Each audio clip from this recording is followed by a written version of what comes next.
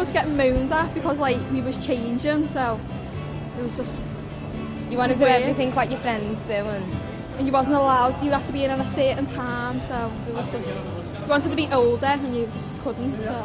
It's that preteen adolescence beginning phase where they've got all the hormones changing, all the emotional changes, uh, you know, be, becoming more grown up, worrying more about their peers than they do about parents.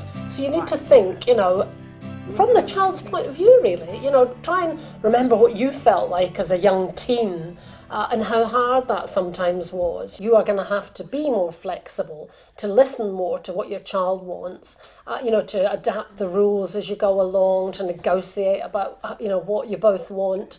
And that takes a long time for that change to happen. So you, you can't expect it to happen overnight. It's a learning process as a parent as well and sometimes you think you might say no to something and think well maybe I'm a little harsh maybe because they have got to learn you can't wrap them up in cotton wool When you're little, you play games with your friends, and then in high school, you just go out shopping or something. So it's like a really big difference.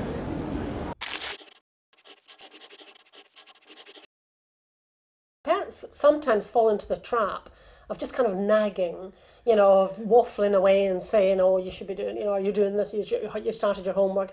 But the child's actually not listening because you're not making an effort to make eye contact, to, you know, make them know you're talking to them.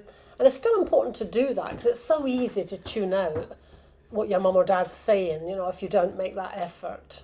Sometimes you just let it go over your head.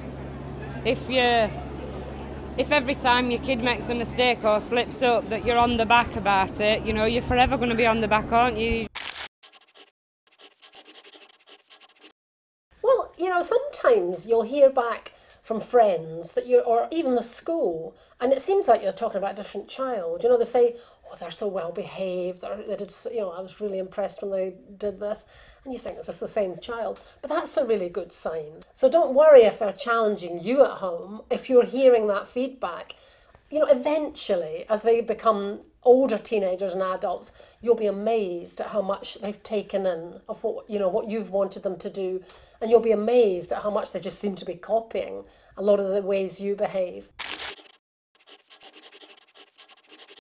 With this age children, it can you know it can be quite quiet. They're just locking themselves away in their room, or they seem a bit moody, or you know they're a bit snappy. If you're getting worried about the way your child's behaving, getting worried about the relationship, have a real think about what you might change. Uh, you know, rather than how the child might change, and think, is there something I could try instead? Is there another way I could do it? Children repeat the things they get praised for, they repeat the behaviours that they got positive feedback for. So that in a way is how you want to be working. You will get a better relationship with your child if you're able to just work on it like that, to just give them some time and attention.